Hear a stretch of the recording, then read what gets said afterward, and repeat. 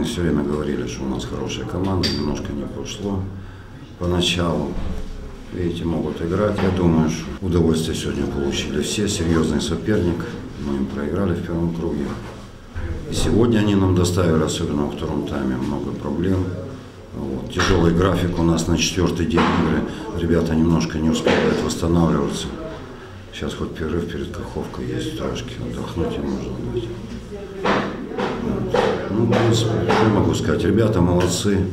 Я очень доволен командой. Наконец-то поверили трошки в себя.